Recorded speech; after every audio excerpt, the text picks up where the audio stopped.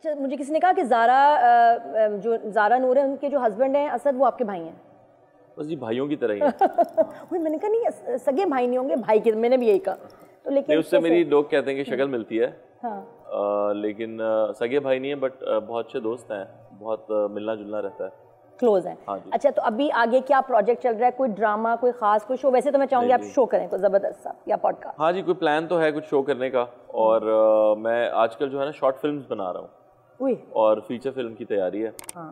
तो अभी मैंने एक शॉर्ट फ़िल्म बनाई है जो बस पोस्ट प्रोडक्शन में है और वो फेस्टिवल के लिए है हाँ। इंटरनेशनल फेस्टिवल्स के लिए अच्छा। काफ़ी डिफरेंट है पीरियड है तो देखें मज़ा आएगा। यासिर की बहुत मज़ेदार होती हैं इनकी रील्स और वो रील्स आज यहाँ रिक्रिएट होंगी।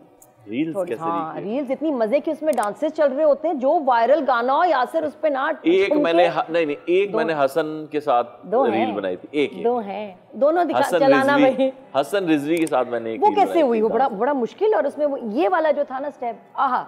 हसन ने सिखाया था मैंने सिर्फ़ हसन को आइडिया दिया था कि यार ये रील बनाते हैं सोशल मीडिया पे idea? हाँ। योर आइडिया नहीं वो रील कुछ चल रही थी ना हाँ, हाँ, नॉर्मली कि बनाते हैं। तो मैंने हसन को ये आइडिया दिया कि हम भी बनाते हैं। तो उसने कहा ठीक है आप आ जाएँ।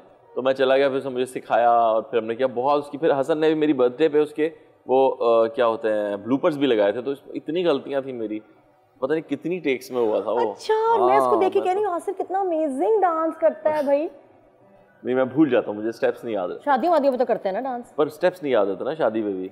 एक्टिंग ही कर रहे होते हैं ऐसे। और शादियों पे वैसे जाना पसंद है तैयार होके जाना वहाँ शादियों पे हाँ हाँ, मैं चला जाता हूँ शादियों पे। कितनी देर? मज़ा आता है मुझे शादी पे जाके है ना हाँ।